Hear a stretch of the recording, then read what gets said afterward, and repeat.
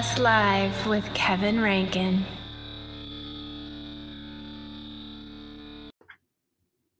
Hello, everybody. Thank you so much for joining me on Access Live. I'm here in the sunny banks of uh, Ellesmere Port in uh, just north, uh, just south, actually, of Liverpool, England, on tour with the Flock of Seagulls. And during that tour, I got to meet my next guest and have a lot of stuff to cover. But before I do, I want to ask a few things. Number one, there's a link below. If you're watching this on any other platform other than YouTube, please go to youtube.com slash all access live with Kevin Rankin click the subscribe button and then the like. And if you click the bell, you'll be notified about all of my future guests.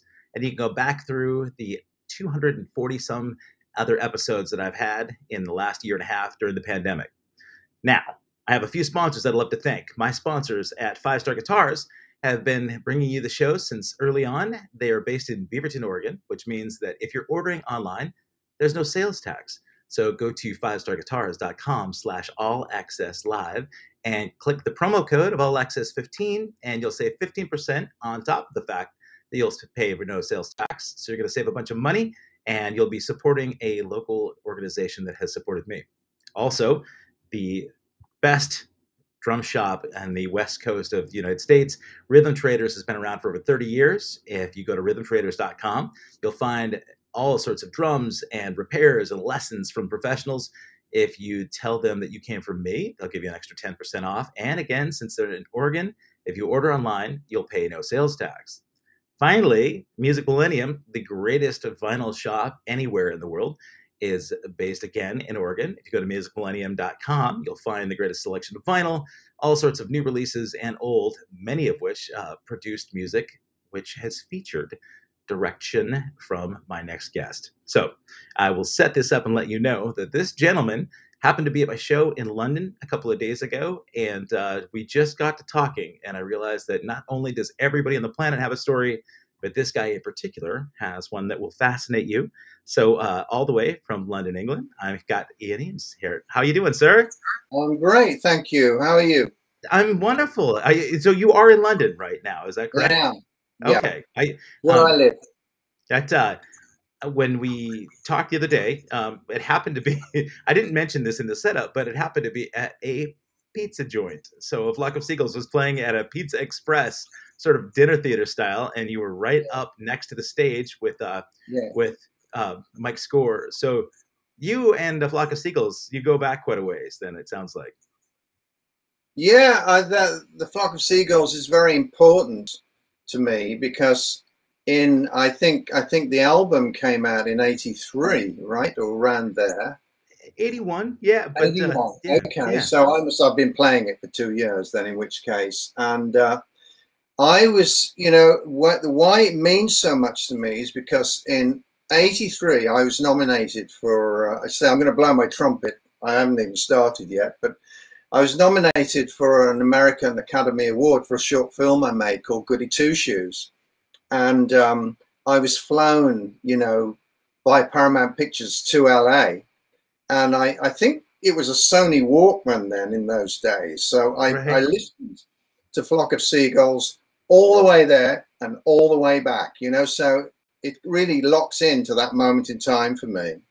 You know, uh, having listened to it that much, then that must have been why you were so intently watching my drumming.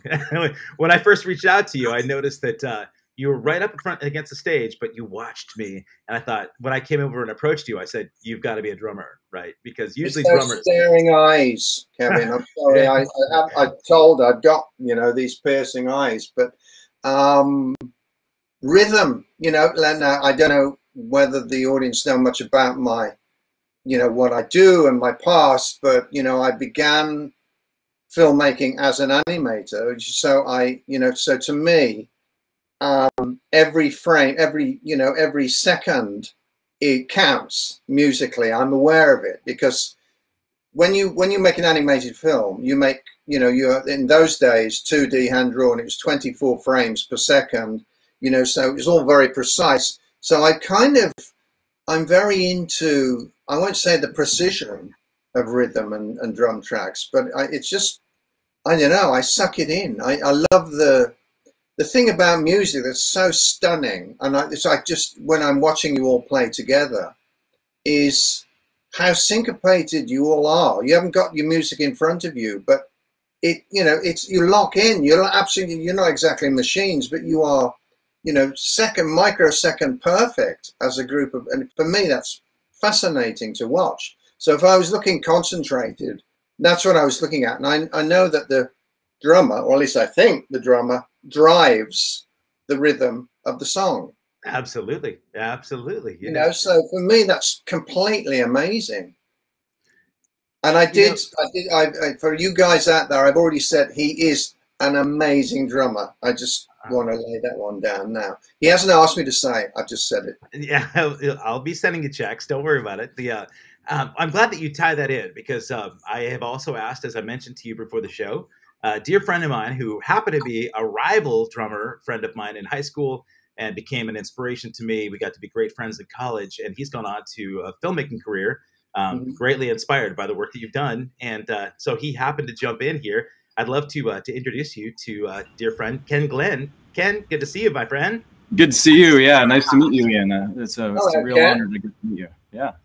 Can, Ian, Ian, on a green screen. Does that mean we can pop you into some kind of science fiction landscape? There? That's right. Yeah, maybe some Mandalorian background or something. Huh? a pink know, animation. Yeah. yeah. Well, that's. I tried to do that a little bit here in the background. Let's see if I can get to, this. Is a little bit more of your, your style. How's how's that working out there, Ian, nice. in the backdrop? And uh, and that's then great. Got, yeah, yeah. And we got then we got uh, okay. some of this. There's some of this. Guy, Let's see. No, we don't want those, but but perhaps. Uh, We've got uh, I Stand with Ukraine. Does that work okay? Well, we, that's we, important. We'll, yeah. we'll, be we'll be here yeah. in the studio with Heather Thomas, or perhaps uh, at the Rainbow having a piece of pizza in Los Angeles. So, mm-hmm. um, um, yeah, you know, it's interesting. I mentioned uh, the backdrop of Ukraine there. That unfortunate uh, circumstance of, of the invasion of Ukraine happened right at the beginning of our tour, and uh, yeah. as a as an earmark in time, it's tragic and it it uh, it absolutely crushes me as we're out you know looking at the devastation. Um, yeah. You know, Ian, um, here in the in the UK, I've talked to a lot of people who have uh, brought in, they've they've mentioned that a lot of refugees are being brought into the UK right now, and uh, a lot of families. Um, their husbands and wives are going out to help with refugees in the in, uh, in the the conflict right now. Yeah. Um, you know, as a filmmaker, Mm-hmm. Have you sort of been inspired to want to sort of document this type of thing as well? I mean, this is. I wouldn't say inspired. I would say more like compelled. I just feel I must do something. You know, I feel absolutely. But I'm very divided because, you know, there, there are many people who are going there to help. For example, right. check, you know, putting uh, supplies into vans and driving down there. But I'm also mindful that you know organization is required so you know if, if everyone just kind of floods down there i'm concerned that it could cause more confusion you know that i so i'm i'm mindful that we should you know if the, the people who are you know people who are organizing all of these things properly are allowed to do so you know sure. so um yeah, I mean, I, I, I definitely, I, one of the things that I did do is I thought, um, I start, I did a couple of illustrations, which I thought I could put out there, which um, demonstrate my idea of what the reality of, of it is, you know. But and yeah. but then I've seen, I, I, don't know if you know about NFTs. You know of what course. those are, non-fungible tokens. So there's a, an amazing guy called Beeple, and I'm sure everyone everyone's the one now one of the best-selling artists of all time. He's been doing some Putin illustrations, you know? really, and um, they they are very you know thought-provoking and shocking. Um, but I I think you know we have got you know we one of the things this is it's it's a bit like the Twin Towers. It's a, a huge moment in history, which it represents a sudden re-emergence of this kind of medieval warlord kind of evil, you know, right. the, the di- dictatorship in this modern age when we all thought like none of that can happen anymore because of the internet and everyone will know what's going on. But it's literally like suddenly we have never actually rid ourselves of this. Mm-hmm. You know, the, the that side, that side of mankind that does this kind of thing. So, uh, and you know, I come from. I've had the most enchanted life. You know, I was a, a young lad in the '60s um, in you know London, and it was the you know it was the freedom, and then the seventies, and you know the absolute explosion of creativity that could only happen in a free society. Right. So now you you have this kind of guy that wants to bring things back when all that creativity would stop, you know, and all that endeavor and all that invention just stop it in its tracks, purely out of greed and wickedness so being creative is very, very important at this moment in time. You know, if you can, if we can, is it better to, to drive down in a van, you know, with, with, you know, is that the way you're going to do it? Or can you do it? Can you do it through your, what you say, your power, the power that you have? What are you most powerful at? Sure. And how can you use that hmm. to kind of flag up how important um, freedom of thinking is. You know, so I, I am really um, every day I'm thinking, what can I do next? What what can I do? Um, you know, I want to do something physical. I feel it will make me feel better if I can actually go and do something. I'm also thinking, I have access to the media. You know, I have million. I can put things in front of millions of people. Yeah, that's what I should be doing. You know, uh, somebody that's right in the, in your wheelhouse. I know that uh, that I, am not sure that you guys have worked together, but I know that he's been an inspiration to you as well, Ken. Um, I saw a tweet from David Lynch a few weeks ago, and it, right when the when the invasion started, and um, I felt like that was the perfect vehicle, right? That he has a, a, a, mechanism in which to get the message out to a lot of people that essentially condemned what Putin is doing uh, without being divisive, right? That's a huge yeah. part of what's going on right now. Is that um, you know there's there's a divisive message that happens. Putin has his message yes. that he tells the Russian people, and they they believe in in that somewhat. I think sometimes you know uh, when the as we've seen, right, the, the, the Russian army gets into the Ukraine, they find yeah. out a little bit more about what's really going on, and they're abandoning, you know, ship. But um, but that's a, a, perfect illustration of that, right? That, that David Lynch has the uh, the mechanism in which to get the message out to millions of people, and it gets the conversation started about what other people can do. Uh, yeah.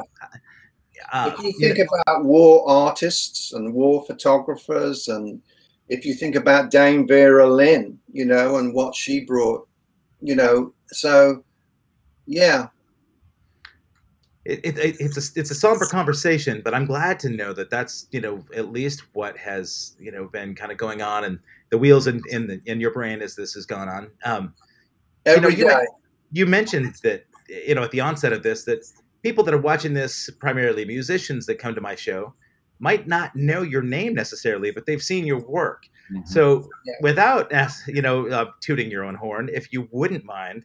Let's go back to that time, back in the in the 60s and 70s, when you talked about growing up in London, where mm-hmm. you drew your inspiration, and then what has happened between then and now that has brought you forth in front of millions of eyeballs across the mm-hmm. planet.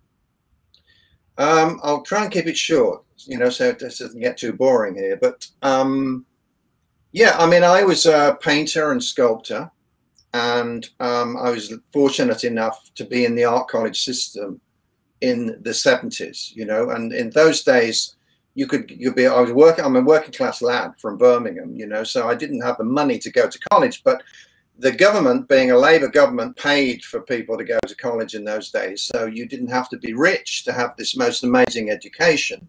At the same time, we had the whole explosion of the music world, you know, so we had the Beatles, we had the Stones, and, and we had early Pink Floyd. And early Pink Floyd to me were it. You know, it's all I ever listened to.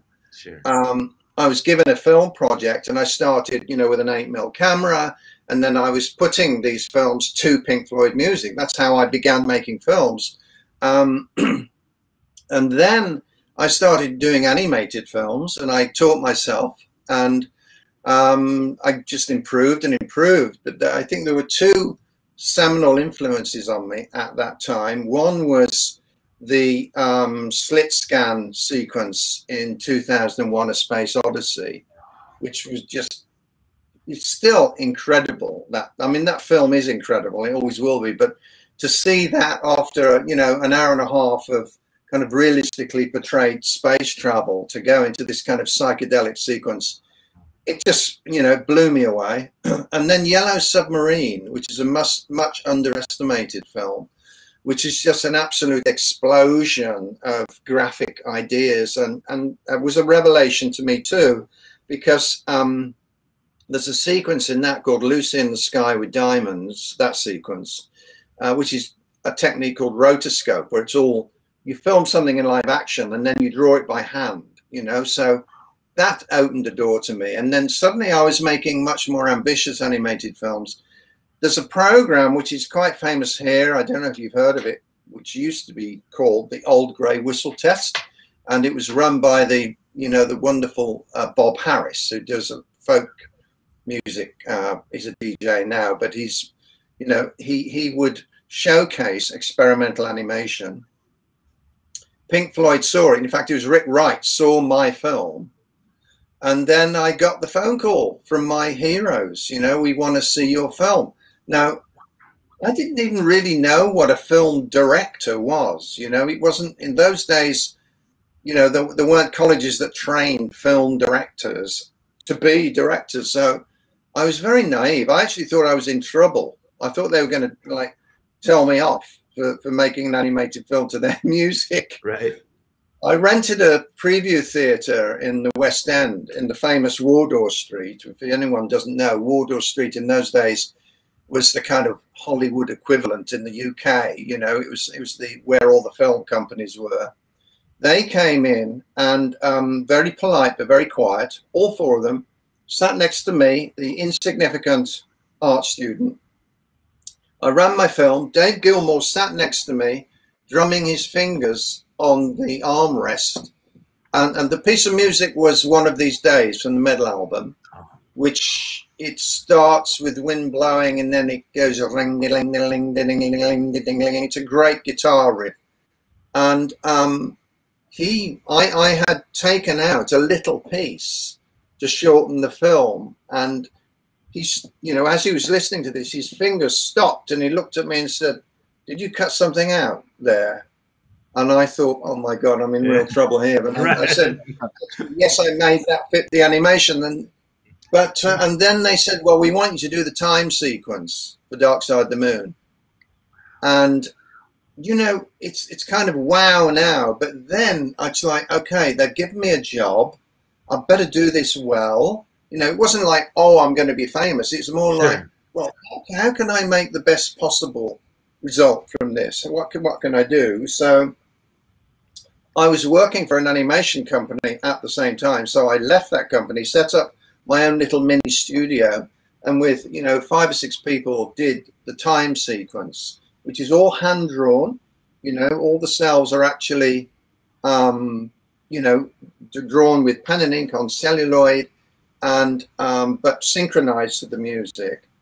Um, they showed that at Wembley Arena on the circular screen, which is known as Mr. Screen, by the way, in the business.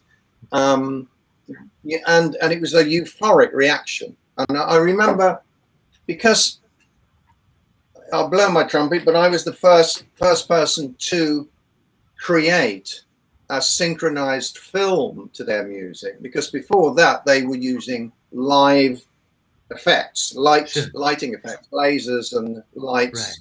Right. Um, and so I remember, I know Paul McCart, Paul and Linda McCartney were in the audience, but everyone in the music business was in that audience. I remember looking along the row, you know, and seeing, of course, everyone, not everyone, listen, a lot of people were taking a lot of drugs in those days. Right. Um, and, and, it, and, they were like kind of rocking backwards and forwards. There's all this hair going, you know, and then it was my animation up there on this giant screen with Pink Floyd playing in front of it. And all I was thinking was like, mm, you know, I could have improved that a little bit. And you know, maybe I should have done this that way. Um, and then, you know, they I got the phone call again afterwards, said we wanted to do the rest of the album. You know, so I storyboarded the entire album, but they went to Pompeii and I think they were away for like eight weeks. Now, the thing is, animation, if anyone doesn't know this already, it's a very slow process, it's very labor intensive. So, to produce a remainder of like, you know, nearly 40 minutes of animation, it takes two years to make a 90 minute film. So, you're talking a year really to make full animation. I don't think, you know, the Floyd really had any idea how long it took, and I, actually I didn't because I was the new kid on the block. I mean, I'd never been given such a big gig, and suddenly I had to employ all these people, and I set up a bigger studio in Dean Street, and you know the whole thing was on a much bigger scale, and I, I managed to produce you know four tracks of, of animation, um, which was uh, Speak to Me, on the run, us and them, and time. I didn't quite finish on the run. Um, so you know, so what I I have actually I have a lot of unseen footage, no which um, yeah, no, I'm not kidding. Um, and, well, uh, well folks, know, we're going to debut it right. No, I'm just kidding. No. yeah, no, I, you know, I'm, I'm currently working on a project. I won't tell you what it is, but it's my ambition to fully realize this album. Mm in in animation, you know, and we'll see, you know, where I go with it. But um, yeah, I mean, and so that you know, Mike Oldfield saw it. He was there. He called me up. I went to. I became very good friends with Mike Oldfield. Um, I went down to his gothic mansion in the middle of nowhere, which was an interesting experience. Um, and yeah, I mean, I was suddenly like the psychedelic you know, trippy brain for mm. hire, you know, for all the musicians of the day. I'm going to back you up for just a second because this is this is almost too much for me to comprehend. But I'm thinking like you were right out of school. Yeah, I was about you, 23, 24. Yeah. Okay. So you get a call from Pink Floyd that says we want you to do the, the time sequence. When they call you with this, do they say, "We'll throw a budget at you. You can hire some guys. You can quit your job." Um, and I, am sorry to ask those types of questions, but for me, I think about getting right out of school as a broke college kid, right? Where yeah. Um, maybe you have a job a, in a, a, film studio, but thinking about that that point, okay. I have no idea, Kevin. I just, okay. you know, I, I just, you know, I think I paid myself a small amount of money. I wasn't in it for the money. Uh, you know, it's so that was 40 odd years ago. You didn't the way people think now, it's all career opportunity, marketing, how many people like you. I made all those films at that point for no reason other than I was in love with the process. I didn't have any ambition at the end of those creative acts. And that's actually why I still have a good relationship with the band to this day, is because an artist, you know, I listen, Damien Hirst is a fantastic businessman, you know. I'm a I'm a terrible businessman, really, and maybe I'm just about learning to be a businessman now, many years on, maybe. But I wasn't. I, I was just in love with making those films, and that's so. So the cost side of it just about covered it. I didn't walk away from this with shitloads of money. Sure. I think if I'd have asked for ten times the amount, they probably would have paid me, but I just didn't ask for it and that's probably why that relationship is still solid, right, with the band because they saw yes. The passion yes. for it. I um, I ask partially because, and, and Ken knows this well uh, as, as, well, but my father also is a painter and a sculptor, mm-hmm. and uh, it, and um, and and also is a, is a horrible businessman, right? His his his art is from his heart. It's all about his creativity, and he's an abstract expressionist where he grew up and he grew, you know, he he developed his trade in an area that's primarily Western art. So there's a lot of cowboys and horses and that kind of thing that. Oh, you don't mean Western art? You mean westerns? Truly westerns. yes, yes. And, and and he was not about to to uh, to go the commercial route. and really didn't understand how to market himself. And his um, when I would talk to him about saying, "Well, your contemporaries are out there, you know, selling their pieces for millions of dollars, and if you just did this and this," and he said, "That's not in my wheelhouse at all," you know, and and I understand, and I think um, the the that's a, the beauty of it. it. In some respects, you mentioned NFTs before, and and uh, bringing digital art to the blockchain and being able to place a value, a, a perceived value on a piece of art, right?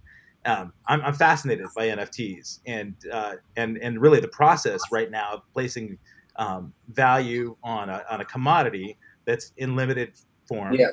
So when you go back to those days where Pink Floyd came to you and said, "Ian, um, we see that you've got what represents us, our sonic representation, to put in a visual form." uh, and that's where that pairing happened. Yeah. You mentioned you mentioned that at that point, the psychedelic market then saw you. You mentioned Mike Oldfield. I saw the Tubular Bells video. I saw the Escher influence, and I really I loved it. I'm a huge MC Escher fan. I could see that that, that you were too. So, um, as we all know, and no matter what industry you're in, really, marketing, networking, or, or the who you know is is really uh, an important part of at least expanding yourself into a different audience. And so the people like Mike Oldfield then see you. Um, you maintain your relationship with Pink Floyd, but then what was your your end goal? Were you just feeling like I just need to express myself? I, you saw that animation was something that you wanted to do primarily as a career. Did you see yourself as a director at that point, or uh, a filmmaker? Really strange. You see, I, I because I'm I'm a working class lad from Birmingham. I, you know, there was not.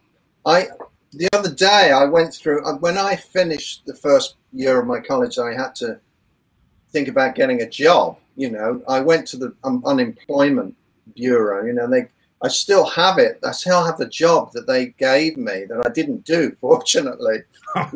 it's designing tire treads. You know, and it's like I could have been designing tire treads for the rest of my life. That's all. They didn't even know what an animator was in Birmingham. I didn't really know that directing was a profession.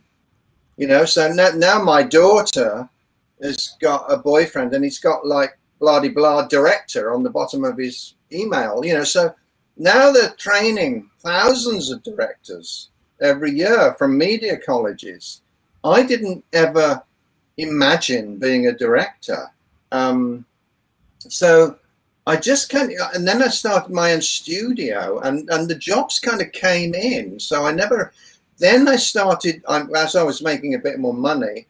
I realized, well, maybe what I want to do is make proper films, you know. So I started financing actually live action films, you know. Um, so while I was doing the, you know, the whole animation career was getting out of control because I was so successful, I was using that money to finance my to self train myself as a live action director and to work with actors and you know um, so you know the career that followed um, is been you know I've been very successful as a live action director but my process is essentially animation because I imagine something up front I do a quick sketch of it and then I do a more detailed storyboard, and then I go and shoot it. And that's, you know, some people work that way. That's the way I work. Ridley Scott works that way, and I've oh. worked in his company for five years. You know, I, uh, I saw that. that yeah, which was. I'm so glad I worked there because I I work with world class DOPs and production designers. They used to call his company the Rolls Royce in the fast lane. Mm, yeah. And, you know, what I learned from him on top of the what I learned from animation and you know so um but I do think that the UK is a bit slow visually I mean the young the young generation of directors are better but but I was always too visual for everyone in, in the world of live action when I was doing it you know not in America everyone loved what I did in America but too visual in the UK okay you know, I I've been quite verbose here, and I don't want to. um, talk over because right now we're in the wheelhouse of where Ken is. I, I know you have got to be chomping at the bit, Ken, to be asking some technical questions because I know Love you mentioned yeah. when I when I mentioned uh, about talking to Ian, uh, you had mentioned that a huge inspiration of, of yours going into school came from animation from that that time frame. So you want to talk a little bit about uh, that and and maybe some questions for Ian. Sure. Yeah. Yeah. Well, again, really nice to meet you, Ian, and, and it's so great to get your backstory here. Uh, I've watched some of your stuff online. Of course, I've seen all your Pink Floyd stuff, uh, and as Kevin said, that was really really watching those animations, uh, the earlier stuff that you did for Pink Floyd. This would be uh, probably about '88, so it was before uh, Endless River, but it was um, just all your classic animation and the wall when I saw what could be done with music and image and art, uh, just all of that and acting in in some of those films, uh, that's what set me on my course as a, a film major. And so I was uh, I was just uh, getting ready to go to college when I got into all this stuff. I was a little late to the game. This was yeah '88, so it was uh, you know I, I, had seen parts of the wall and I'd heard the whole thing, but uh, it was just a revelation to see your uh, work, you know, the uh, one of these days and, and the dark side of the moon work, just what could be done there, the geometry and just the art, uh, the rotoscoping, like like you had with the dancers in that, yeah. Uh, just got made me feel like, you know, maybe I can do this. I'm not very good with a brush. I'm more of a photography kind of guy. I, I, I'm a little more closer to real life or live action uh, yes. and, and, and, less of a visual artist like like Kevin's dad. But uh, but this is maybe something I could do. And so I enrolled in the film school here in Bozeman, Montana, where where Kevin and I grew up, and I, I got started. And by my junior year, I I made a, a, a minute and a half animation, which, as you know, even a minute and a half takes a long time. Mm-hmm. It's just on index cards, but um, just trying to emulate some of the things that that you and and the other Pink Floyd animators were doing. You know, like doing uh, morphs between a mosquito and a uh, oil rig. You know, uh, just trying to draw some parallels, things like that, trippy stuff. You know, and uh, and then my senior thesis was an eight minute uh, animated film, and we we had a crew of artists from the art department. We had some filmmakers. Uh, Kevin and I have a common friend, Yarrow Craner. He helped with that. And we were doing probably very similar to what you were doing, you know, frame by frame, stopping the projector and tracing the outline of, of whatever motion was going on. And then, yeah, rotoscoping. And then, and then just going back and inking and painting those cels. I mean, this was before the digital changeover, you know? So yeah. I feel like we were lucky to get in on the tail end of, of some of that real art. You know, uh, yeah. I mean, I'm not saying After Effects and Maya and those things aren't art, but it's a it's a different animal. And, and when we got to do that kind of work that that we saw you and yeah. your contemporaries doing yeah. 20 years later, it was it, it, was fun. You know, yeah, it was hard work too, though. Good to hear. Well, you've uh, you've uh, learned you know you've learned from learned the ropes from you know with your bare hands at the beginning of the process. I mean, I I do enjoy, for example, even editors. I I do prefer to work with people that at some point in their lives have worked on film mm-hmm. and yeah. not purely digitally. Sure. But, so you you know, having done that, you can carry out through. Well, what are you doing now? Oh, uh, so I'm doing uh, I'm doing mostly uh, video production for Silicon Valley companies, but uh, I do a little bit of After Effects work, mm-hmm. and mm-hmm. so I get I get to keep my hands in animation. Yeah. And uh, someday I want to do another you know artistic piece you know but it, it's very commercial at this point time consuming you've got to have and if it's animation you're going to have the time yeah for sure uh, you, i'm interested in what you both think about the the transformation in animation with studios like DreamWorks and Pixar, you know, that have gone on to these massive, big budget productions with thousands of animators. How you can sort of project manage and take something like that and make, um, you know, this huge sort of global piece do you feel like some of the, the magic is lost or do you still see the magic in what's produced Yeah. Uh, am I bright enough, by the way, Kevin? Because the lights dropped outside, big, big Oh. time. Oh yeah, well the light you bring is uh, is certainly bright. Coming from Yeah. me. Okay. That's right.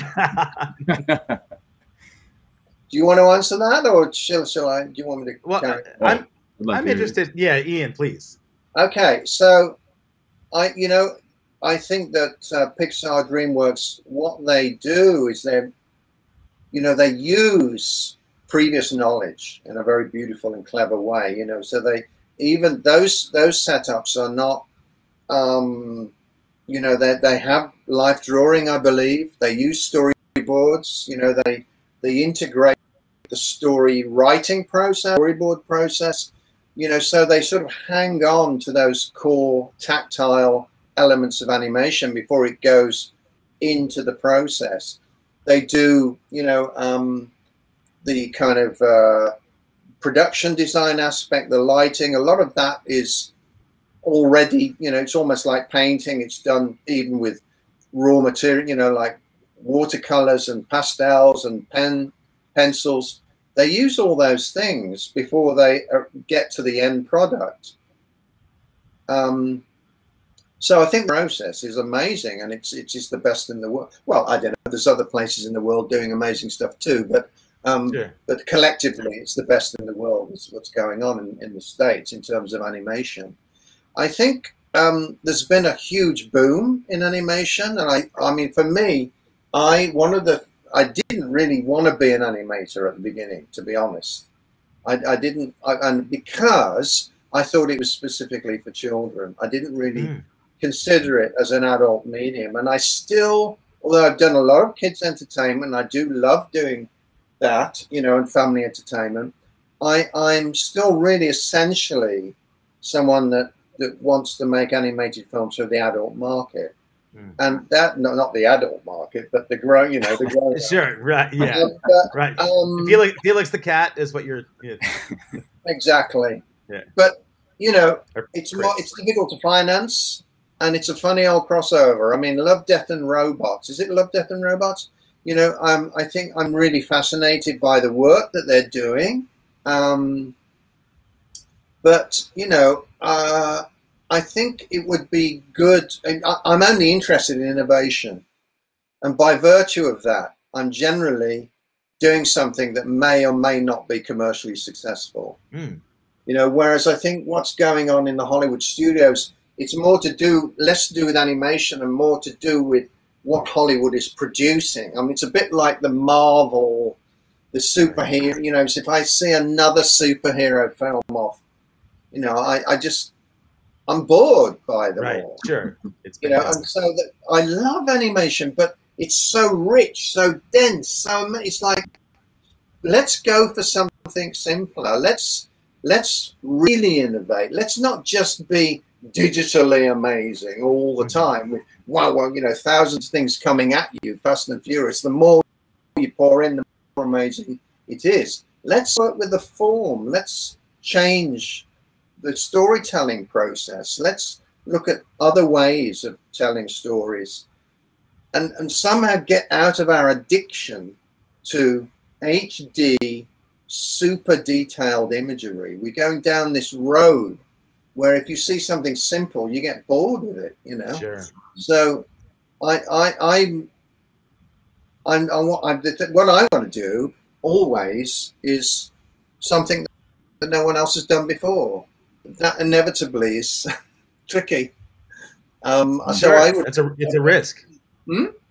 It's a risk it for sure. So, Yeah. um, you know, I mean, I, I what, what I've seen a number of films for BAFTA. You know, um, one of the films that stuck in my mind called Flee, which is actually about um, I think they're Afghan refugees that go to Russia, and it's a, some it's like a documentary, you know, but it's also, you know, um, but I thought that was an amazing film really because it, it had a big, very deep emotional purchase to it.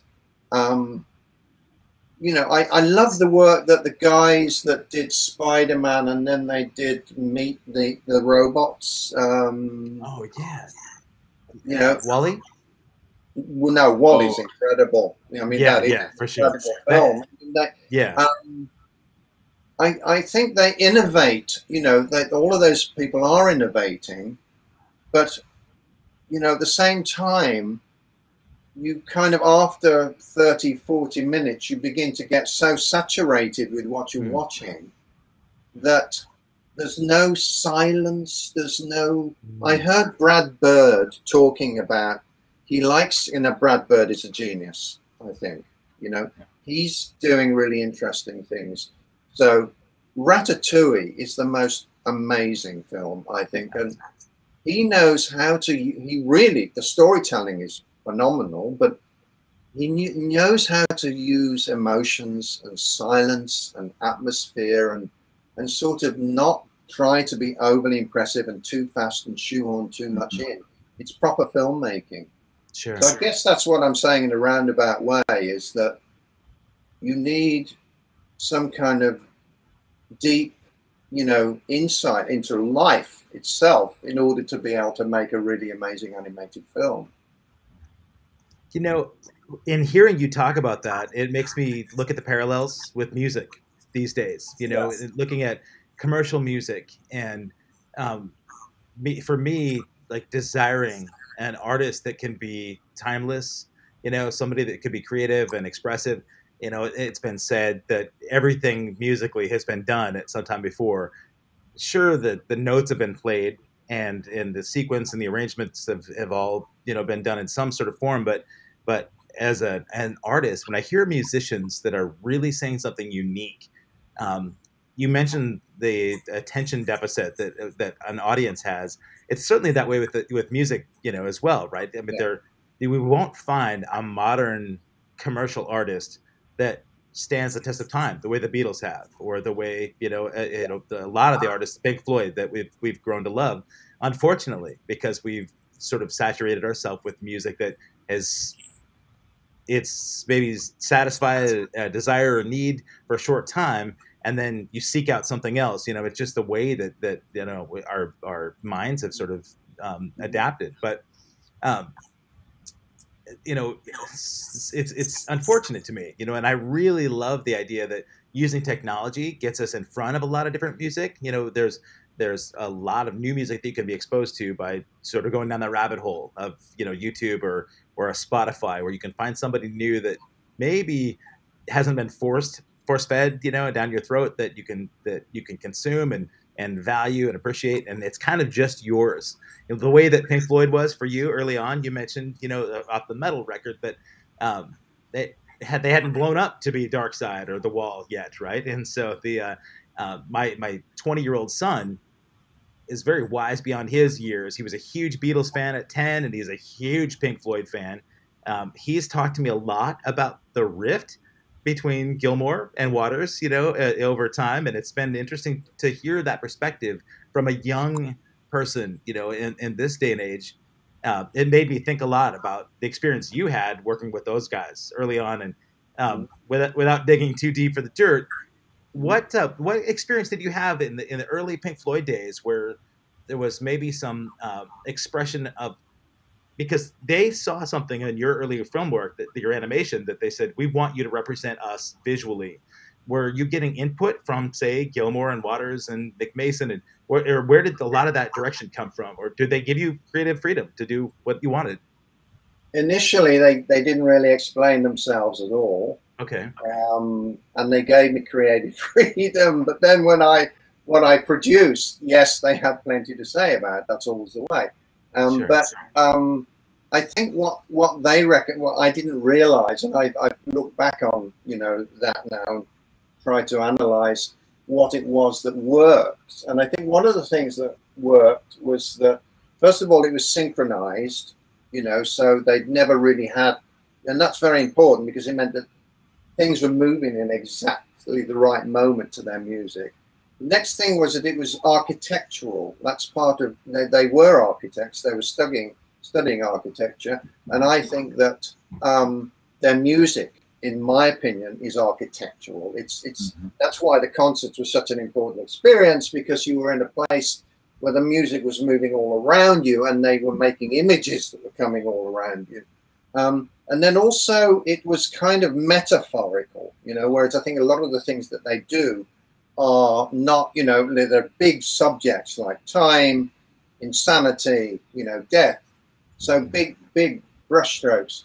So in terms of the actual um, creative process, I always, you know, it was always all of them together for that period of time. And then later on, it, I was either working with David or I was working with Roger, you know, separately. Um, and I never really, I mean, I, I was aware of the personalities, of their different personalities. And David is, um, he's, you know, he's quite, how will I say, um, he's, he's like a compassionate individual. He's, he's very, sense of beautiful. His guitar playing is very emotional, very tender, if you mm-hmm. like. Whereas Roger is much more acerbic, he's much more critical, he's much more ferocious in his creativity. But I think the two of them were the, you know, were the engine. And of course, then you had Rick Wright, who was cerebral. He's a classically trained musician, you know, and so he brought structure to those compositions. They're very important, but he was very internal. I think he's, uh, Rick Wright, I think, is a much underestimated presence in Pink Floyd. I think he's absolute genius. I love his, you know, keyboard synthesizer playing. Um, and Nick Mason was was the sort of diplomat of the mm. group, and indeed still is. You know, so um, but you know, fantastically experimental. So what was, and you know, they were serious experimenters, you know, of the time, which is very much of that era. It wasn't about, I, I guess, you know, now they talk. I sometimes read things where they say the they knew they were going to be very successful and all of that. But you just sort of felt, and that was what I was involved with. It was nothing to do with the end game. It was to do with how can we do this? How can we make this better? What can we do that's different? And there was that kind of serious commitment to creativity, very much, I would say, of the art college system of Britain in the 70s. And I don't know how much people are aware of this, but the art college system was based upon crits, we call them criticisms. You would go around and criticize each other's work, and then you you know you'd, you'd argue back or what have you. So it's that kind of group criticism leading to a result. Um, and a lot of famous musicians came out of art college. I mean, um, the Rolling Stones, for example, you know. So uh, in in the UK, um, later, you know, when I worked with um, David and, and with Roger separately, it was really a very informal, very friendly, you know, kind of uh, situation where I, I, I, tend to go in at a quite workmanlike way. We, you know, you find this when you're working with top people on the top level.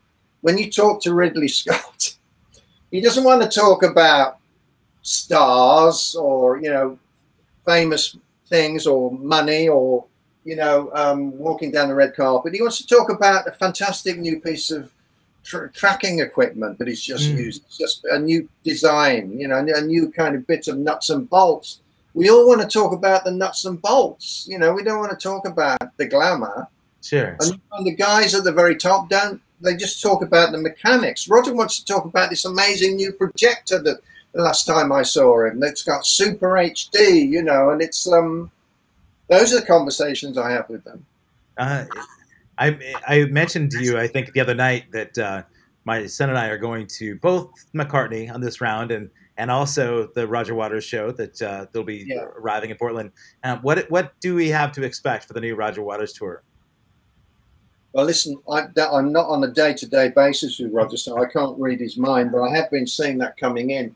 Um, you know, I mean, he's he's grown more political over the mm-hmm. years, so I, I'm fairly sure he's going to have a lot to say about Ukraine in, in one way or another, whether it's on the nose directly or whether it's tangentially. I don't know. I don't know what the content is, but you can bet it's going to be it's going to have a, a wallop to it. Oh, I'm sure. Yeah. I, I have um, a question I've, I've, got to ask Ian right now. Okay, so um, we, we, I know that your work was at the Berlin Wall Show back in yeah. I think 1990, uh, yeah. and I assume that you were there as well. Yes, I okay. shot sequences for the wall, like live That's action. Right, yes. That's right. Okay. So having been there in the environment where the you know the wall was about to come down, it was coming down. The real um, wall. Yeah, the real Berlin. Yeah, the real wall. Yeah. And then having this this Russia Ukraine thing bubble up out, I mean, not out of nowhere, but the intensity of it. Uh, I mean, in a way, Putin was kind of hiding in plain sight all this time, right? But Yes. Uh. I mean, it's it's been a kick in the gut to all of us, but I would imagine, especially you, who were right there when when that wall was coming down. And I just want to ask you about that. You know, Yeah, I mean, I again, I have no idea, you know, what I was going into. I mean, that is a that's a movie alone. That experience of working on that film, on that concert, because um, it was in, you know, it, then the wall had only just come down, and and and it was in a, an area called Potsdamer Platz. I don't know if you know about this, but Potsdamer Platz was the no man's land originally between East and West Germany. So it was a strip of barren land, which was originally between the two. You know, the the wall was actually two walls, wasn't it? They, you know, so there was a gap between them.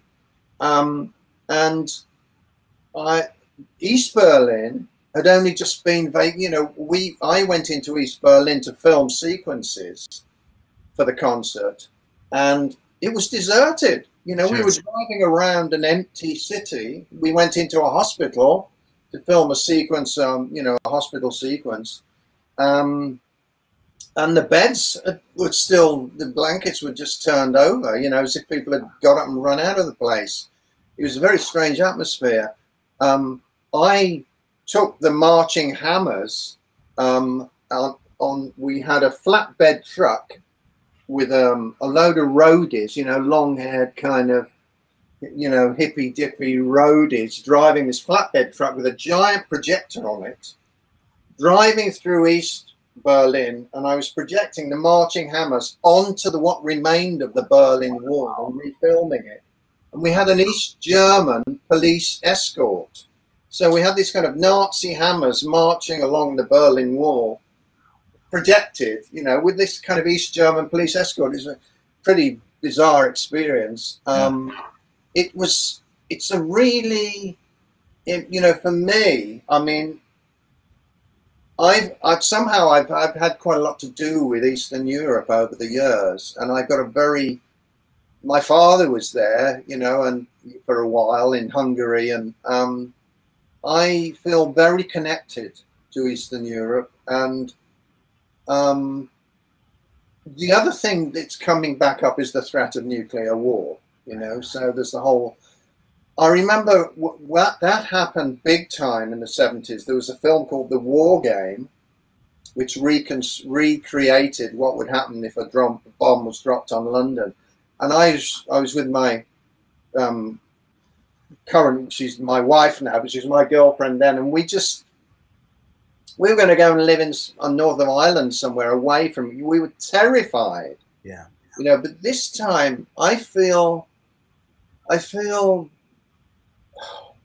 we really just the, what we have to do is we have to. It's made it even more important to appreciate freedom of thinking. Sure. Sure.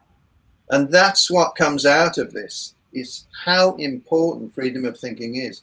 Because freedom of thinking created the vaccine, you know, the vaccines. It, it, it enables people to collaborate, to invent, to find ways to solve problems, not just artistic, but scientific and, you know, in engineering, in every walk of life freedom of thinking is all about endeavor and it's about improvement and Sure. communication and and so in although it's terrifying and it's shocking and it's horrible and i'm crying every time i see the news i've never cried so much in my life when i'm seeing Yeah.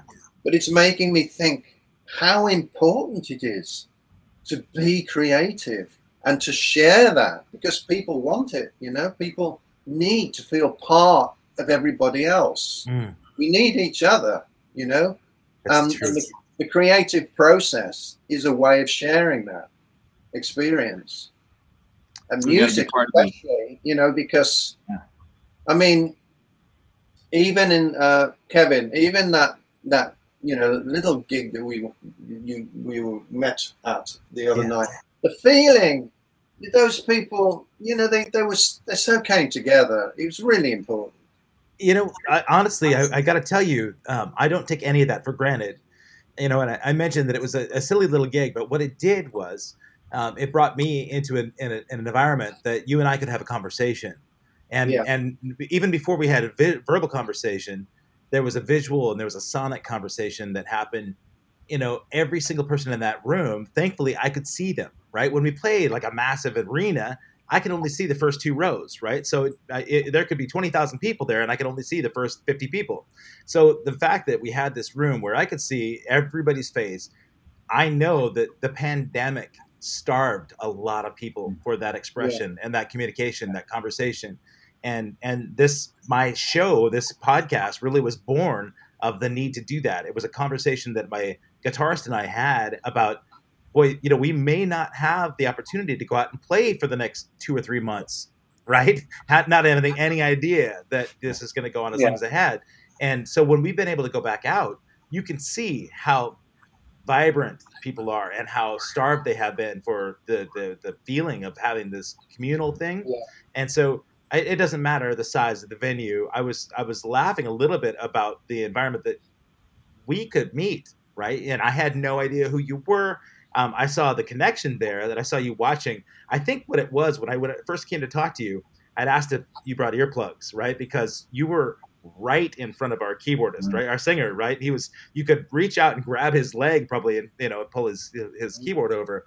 Um, it's a strange environment for a rock show, but um, I was so grateful for it. And what it did was, uh, you know, I think for me, with in in a music situation, and I don't know if it's this way with film, but a lot of times there's a barrier, there's a separation between the performer and the audience and and I dislike that because I'm a huge consumer of music. I love music.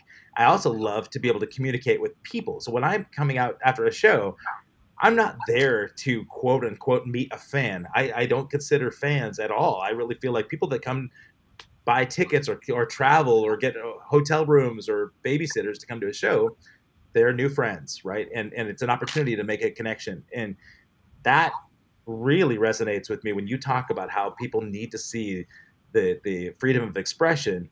It's also this communication that essentially we're all the same underneath. You know, when you look at uh, a Russian family who's you know lost their their families and and past altercations and they're losing their husbands to or wives to war um, going off to fight a, a, a battle that they're being brainwashed to fight. I feel as strongly for those families as I do for the people in Ukraine that are being attacked, you know, and and so there's so much that I think can that can be attained by positive communication and listening, and I I really see you having that vehicle, you know, to be able to do that in in, in your terms of expression. You mentioned using your vehicle to to illustrate, and you said you put together a couple of illustrations. Were they are they satirical in terms of like the the, the Putin point, or, or tell me a little bit about the illustrations that you came up with.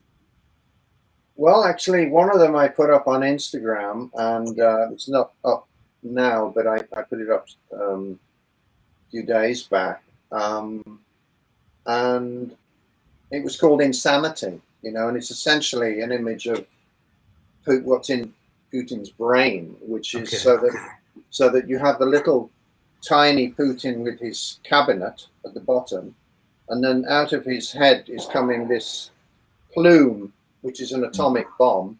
Wow. And in the cloud of the atomic bomb are the eyes of Putin. So what I'm saying is that in in this one man's little head exists, you know, the end of the world, you know, the Holocaust, not the Holocaust, the, you know, the the, the end of mankind as we know sure. it. So um, that and it was it was very kind of lots of red and gold and, and, and nuclear missiles firing off, and it's it's quite a disturbing thing to do. I'm I'm actually working on a couple more of those, but I, what I'm thinking now is that shock tactic with an image is not necessarily the way, because I think there's a lot of that out there, but something which is more emotive and more tender, you know, and more emotional in, in, in its purchase. So, yeah, I mean, uh, an image can say more than a thousand words, and that's one of the things that I'm thinking. I, I, you know, I almost wondered: is there an image that I can make that would be reproduced that would somehow encapsulate this notion of how important freedom of thinking is? Could that image infiltrate somehow into into Russia? You know, could we? Can can a graphic image somehow penetrate? You know, um, this dictatorship and be reproduced and, and somehow make something, you know, true.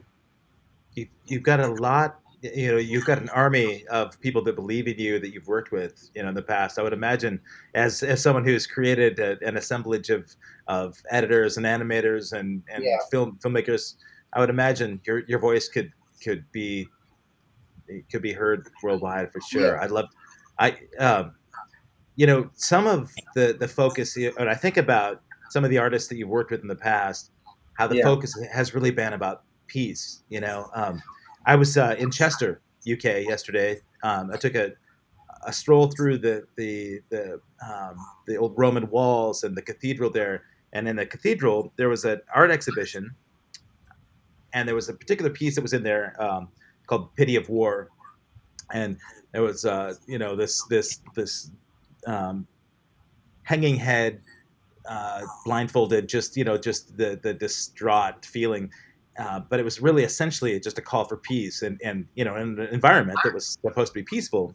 Some of the artists that you've worked with in the past, McCartney, mm-hmm. you know, the Beatles, obviously had um, been seeking yeah. peace in a lot of ways, especially as the, the band evolved and went over time and and and sought, you know, went to, to India and, and looked at you know different peaceful sort of direction. Um, how did it happen? Was it sort of a, a, natural progression for you to end up working with Paul and Linda in the seventies? They actually they were at that concert, I think, the time you know where the where my animation was projected, and they called me. You know, so I, I they they said that um, they had a, um, a music track called the Oriental Nightfish, and they wanted me to make an animated film. In fact, there were two. There was one called Seaside Woman one called the Oriental Nightfish. I could choose one of those two. I chose the Oriental Nightfish. And, and with that, what I decided, I mean, I was getting a lot of offers, you know, but um, I decided to go for working with Paul and Linda, you know, and um, to make the best film I've ever made in my entire life. So mm you know, it's kind of a hidden gem. This film, The Oriental Nightfish, it hasn't been seen by many people, but um, it was. It was. I pushed the technical aspect of animation further than I'd ever done, and um, and it precedes digital animation. At the time, um, I, I I was I was doing a project in the states, and I went a, a, a, guy, a producer, an animation producer, wanted to show me the first digital animation. He took me to a place so bizarre. It was kind of like in a desert somewhere. It's like three giant hangars called, I think it was Information International Incorporated. I think it was called. And um, it was just like room after room of computers. And then they took me to this little cutting room and then they showed me what was the first digital animation? And and said ian you could have you, you know you'll be able to do it that way. And i i you know so i i'd reached the kind of pinnacle technically. I, I it was shown at the cannes film festival. I remember a woman saw my hand drawn animation and said oh that's ian emes. He works with computers. So, no mate i did it all by hand with airbrushing and what have you. And then i just so i thought you know what I've got one more film left to do. It's going to be really simple. It's going to be directly drawn on paper with pen. And then I moved, and then I basically moved out of animation into live action full time. Really? Okay. Because I felt that I'd reached that point that I had to make the transition. And if you think about it, early digital animation is pretty awful. You know, those, those um, pre Toy Story, that all that digital animation I thought was quite horrible to look at. You know, it was all very plastic and mm-hmm. shiny, and you know, um, when I saw Toy Story, I was in LA directing a film, and I just thought, excuse me, I shouldn't have said that. That's um, all right. This is it. You know, this is digital animation has arrived. Hmm. You know, and I and then I thought, but that was 15 years later, and I would have been doing all this, you know, transitionary digital stuff, which looks. I don't know how, how whether anyone ever watches early digital animated films anymore. I don't know, but um, they weren't attractive. You know, in, in the, even in the formulative times, that you know, it's kind of funny. You know, it's kind of like um, it's odd. You know, it's odd looking, and people think it's humorous. You know, but it's um, I do. I felt I'm working on. I, I work with animators. I've done a lot of digital stuff as well now and even the live action stuff you know you mentioned early on about how precision and rhythm was important to you I remember the chauffeur, you know, the Duran Duran video. Was that your first live action music video that you produced?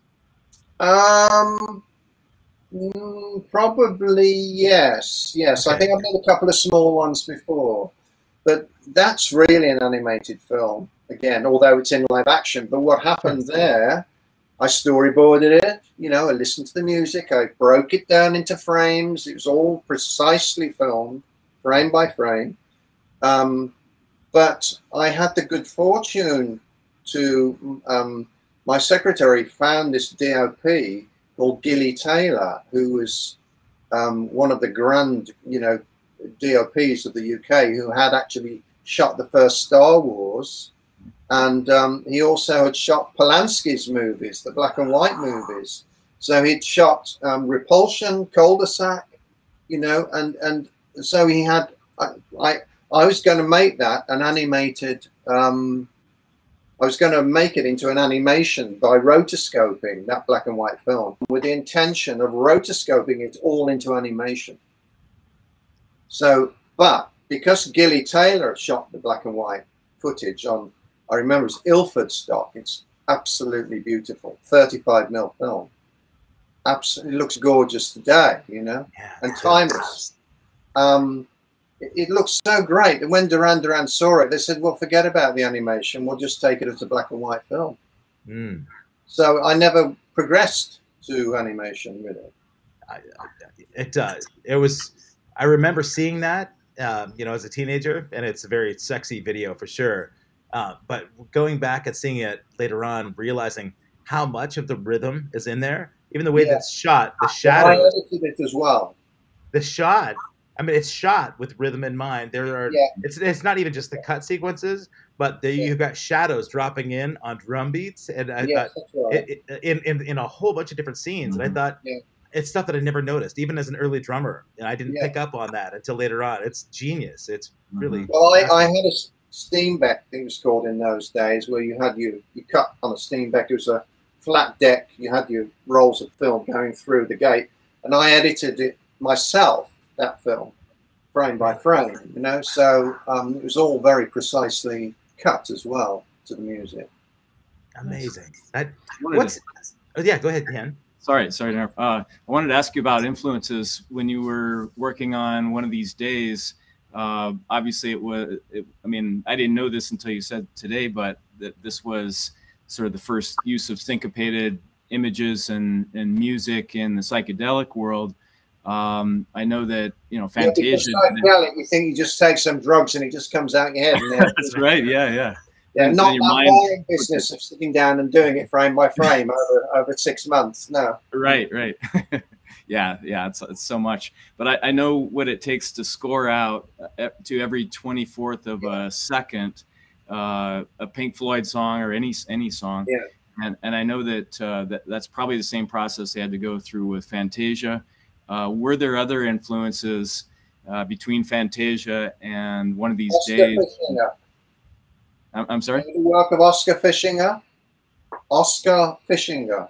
Oh, Oskar. Okay, yeah, yeah. Uh-huh. Oskar uh-huh. Fischinger. He's one of the first interpreters of music, you know, but he he he did it with oil paintings on glass, wow. and he he he's the father, the grandfather of musical inter, you know, visual music, musical interpretation into images. Okay. So, that was a big influence on me. Yeah. Did he, so he probably yeah he probably predated Fantasia, I would imagine. Yes, I yes. think Disney tried to work with Oskar Fischinger on uh-huh. the Fantasia sequences, some of the more abstract ones. Uh huh. And uh, you probably saw the Salvador Dali outtake uh, from Fantasia. That was really something. I kind of wish they left it in there, but I get I, I get it why in the 40s that would have been. Yeah, I mean, Fantasia was another big film for me. I, I have a book um, here, and uh, I'll go my little studio just to show you guys. It's cool. I, maybe I'm not meant to advertise books. Look, it's so old and end's covered. It's the art of Walt Disney, right? Oh, beautiful. And this it's just it's a it's a bible of animation you know and I, I everything i did I, I read this book from cover to cover it tells you everything you need to know it's just unbelievable you know the walt disney is a major influence on me too okay. and pinocchio particularly. Which i believe is possibly his best film mm-hmm. well and of course dumbo you know, but, the you know um, pink elephants. Let's go ahead. Yeah, the dance of the pink elephants, and you know, I for me that's one of my, of course, because it's psychedelic. Exactly. you know, um, I I love that. The the way it all works, the music, it's all going. You know, the, those guys have sat down, taken the music first, I suspect, and then interpreted it into scenes, and then you know done it perfectly to that music. Mm-hmm. They've broken it down frame by frame. And I know a quote where they said the guys who did it said, "We didn't take drugs, guys. All we ever had was a martini at the end of the day." Uh-huh. It's and it's most psychedelic sequence you could certainly you want to see by Disney. It stands up to anything in the '60s or '70s, I think. Yeah. You know. Yeah. You know, it's, it's great sequence. it's interesting to me. I mean, I think about abstract expressionism. You know, I think about your history as an artist, as a visual artist, um, Ian, and that translation. You know, painting, sculpting, and and working into you know this visual, like the the film, whether it be animation or or live action, and then now looking at the way that things are going. You mentioned wanting to kind of get away from high.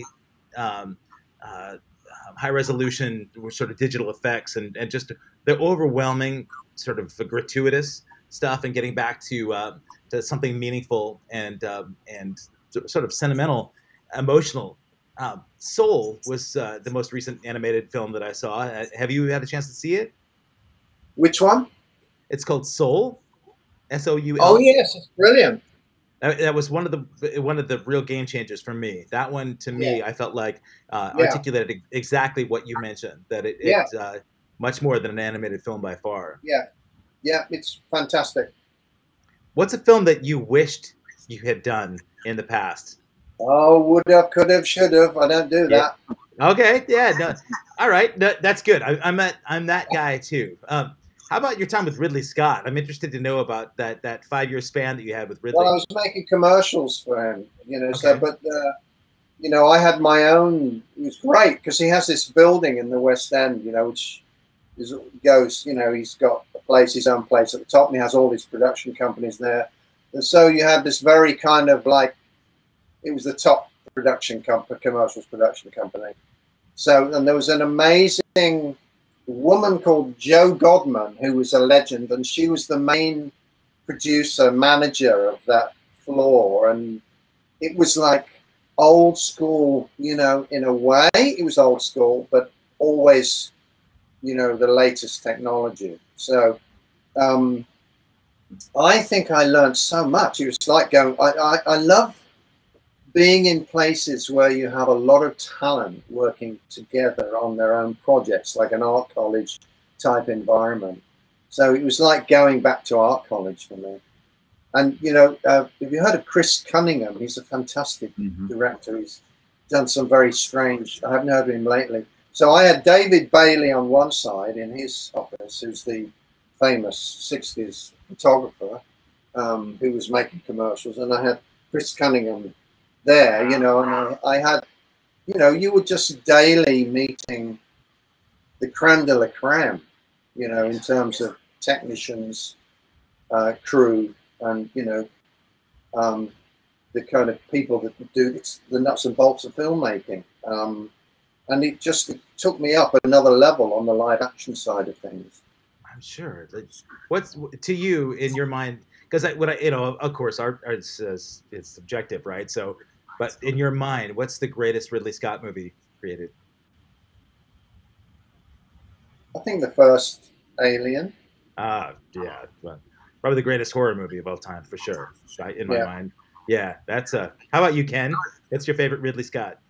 Well, I like Alien for sure, but I'm a little partial to Blade Runner just Yeah. because of the ground that it broke and and just I don't know, just some of the visuals in it and the emotions and sometimes the lack of emotion, the whole Yeah, android. if I'm really truthful, I, I, I couldn't decide between the two. yeah, You know, yeah. I, I love Blade Runner also. Mhm. That's uh, you know, it, it- it's changed the focus completely. But I just remembered you mentioned the Roman Polanski connection. Uh, you know, when you talked about the chauffeur, I could certainly see a Polanski influence in that. You know, so was that uh, did that come from? He was a big. I, I saw all his films. I love Polanski's Okay. work, Yeah, Yeah. yeah. but I'm also most of all a David Lynch fan. Yes. Y- You know, You know, I, I, and I've met him. You know, and uh, he was. You know, I I just uh, he's a, such a big influence on me. Uh, and it- genius as well. I it- Yeah. and so uh, with so uh, dear friend of mine who has worked with David a lot in uh, uh, the I, I think he worked Lost Highway soundtrack and a lot of the Twin Peaks work. Uh, John Neff, a music producer, is one of my next guests on the show here. I'll be back in Portland interviewing him next month. So yeah, Mhm. I uh, and he has remarkable stories about working with David Lynch and. He's the one that pointed me to David's tweet the other day about Ukraine, and Yeah. I was I was grateful for it. You know, I think we need people like that. You know, to to be a sounding board for for people to kind of wake people up. You know, a- as filmmakers, I- you know, I'm not uh, a creator in the film world by any means, but talk about groundbreaking. You know, I don't know. You know, somebody who was really you talk. We talked about risk earlier and groundbreaking. Like uh, like I think of guys like Tarantino. You know, who broke ground and is very creative and, and you know um, influential in a lot of ways. But a lot of his work has been gratuitous, whereas David Lynch was um, a lot was uh, inferred. You know, it, it wasn't. You know, you it was more about suspense and, and anticipation of what might happen, right? And um, so I, I think uh, I, I, like think talking. What I took- take most from David Lynch are those moments in time where you enter a sort of alternate universe of tension, fear, and surrealism. You know Sure, that that's uh, scene in Blue Velvet where Dean Stockwell is singing into the microphone. Uh, the candy-colored clown, or I think it is, or uh, it's so weird. I love it. It's you know, the tension between the characters. It's why is it so wonderful? I don't know. I, I, I, you know, I mean, Robert Blake in Lost Highway. You know, I think about like the the the casting that went along with Lynch's movies too is really fascinating to me. You know, but I I uh, I think the the risks that uh, that those filmmakers took. Uh, very similar to risks that uh, you know the music that we we love so much. You know, I think uh, Pink Floyd, because you did so much work with them in the past, um, Ian. I think about early Pink Floyd, and you said that they had made quotes later that they said that they would knew they knew they would be hugely successful, but it was very experimental, you know, at the beginning, and it didn't seem to me like they were trying to cross into a commercial r- realm at all. You know, I think when when when Roger did Dark Side of the Moon, he knew what was going on then. gotcha, yeah, yeah. But by Meddle, you know, when when Meddle, you know, came out, that was that was a risk, right? I mean, that was that was like like fully that was ink on canvas and and just painting right. expression. You know, do you still uh do you still put uh, pen to paper and and and paintbrush to canvas at all? Do I? Yeah. You asking me that question? Do I yeah. put pen to paper and what? And and paintbrush to canvas. Are you still uh, do, doing any of that? Uh, that your, your oh, work? you mean do I still draw by hand? Yes, of course. Yeah. That's all. I always will. You know. Um, not, I, I, I very often start with some, you know, very. I love uh, pen ink and watercolor because it's very crude and very tactile, and then I might scan it, and then I start working on. So I go from raw materials through to Photoshop. You know, okay. so I I'm working always with both ends of the spectrum, high tech, low tech. Nice. That, that's a it's a beautiful transition that you've been able to make. And you mentioned NFTs. So is that the next next phase? Then we take uh, Ian Emes. Just made six new NFTs, mate. Yes. Really? Uh, okay. Yeah. So uh, it's so, my first, my first, and I have no idea you know, My... uh, uh, how it will go. But um, it's of my world, and you will probably recognize it being of my world when, if and when you see them. Fantastic. So we can, uh, we'll find those in the blockchain, and I'm guessing that we can see your illustrations. You mentioned some of the stuff you released on Instagram, but are we able to get uh, your short films, links to your animations, and all those well, at the link below? my website. Yep, ianemes.com. www.ianemes.com. Um, and you know, I've only I've only I've started using Instagram because of the NFTs. Beautiful. You know, so I but I've only really just started an Instagram account, so I'm using it. You know, that's going to be a way. What I love about Instagram is the artist community. Sure. So I'm sort of just in the process of discovering Instagram, really. Um, and I'm going to use that as a way of unearthing my archives, you know, um, because there's a lot of work I did prior to the Pink Floyd, which I think is interesting, you know, which led to that point. Um, and I, I really love being part of an artist community. That's a really important thing for me. It's it's what brought you, you know, to yeah. the rest of the world. I think that yeah. you know, uh, so people don't have to track you down at a dinner theater in London to be able to, to mm-hmm. find out about your work. They can actually go to ianemes.com. Uh, yes. I know that you're, you're highly revered. They, the, when I look at uh, you know some of the recommendations out there from prominent directors and, and filmmakers, they're they're they're regarding you highly. Um, I happen to be in your neck of the woods again next week. We're at New Cross, and uh, uh so if you're able to make it on uh, April 3rd, I would love to be able to to guest you and have a little uh, sit down. Your wife was so charming too, so I'll, I'll promise to bring earplugs next time, and uh, don't have to blast you guys out. Okay, love to. I'll love to hear from you, Kevin. So okay, fantastic. I'll, I'll drop you a note, and I really. I want to thank you so much for sharing this. Uh, you know, I knew. Uh, the, the, moment we spoke that there was a fascinating story and we didn't even get to the story about uh, these wonderful um, awards that you've got behind mm. you there on the on the wall. What uh, what do I see right behind your head there? You see uh, three BAFTA awards there. Okay. Yeah. It, it, it, you it, like those um and you also had an Emmy nomination. What was that for? Yes, that was um, a couple of years ago. I made a series called Queens of Mystery. Okay. Um, which is on Acorn Television in the States at the moment. Okay. And I think that, that that's six 90 minute episodes of which I directed four. I was the lead director. The Queens of Mystery was, you know, it was a great gig because um, it's it's a murder mystery. But I what I was did was they gave me enough freedom to create this kind of alternate world. It's kind of like a chocolate box view of England, but a little bit too beautiful okay. with all these murders going on. You know, it's a bit it's a bit like a David Lynch concept. You know, you've got this beautiful England, you've got the white picket fences and the blue skies, and then you go down to the lawn and you go through the grass and there's worms writhing and there's mm. nasty things going on on the surface. Beautiful. Ah, that's cool. Yeah, so, I think I I need to be binging that on this tour. Mm-hmm. That, Yeah. I'll, I'll dig So that I'm one up. doing, I'm doing storytelling films, but I'm also doing art. Uh, not enough hours in the day, mate. Yeah, Mhm. I- I- tell me about it. Yeah, well, hopefully you could share a couple of those hours and join me in London next week. Uh, bring your Okay. what, bring your beautiful bride out, and Ken, I thank you on, on short notice jumping in and, and throwing some uh, some Oh. questions Ian's way. I, I knew that. you too, Ken. Yeah, yeah, this is wonderful to get to talk to you in, in person here, sort of. It's Uh, a pleasure. Folks, if, if you came here late, go back to the beginning. Make sure you subscribe to the channel. Then you can go to ianemes.com. You can find out where you can purchase Ian's NFTs off the blockchain and uh, and see some of his earlier work. And then hopefully we're going to see that new project that you promised to uh, to realize some of the unseen footage that you had done uh, from uh, those Pink Floyd. And you can find me on Instagram, Kevin. As, absolutely. I'll, uh, I'll make sure that we add your Instagram link Okay. to uh, this page on Access Kevin. So accesskevin.com, you can see the whole bit.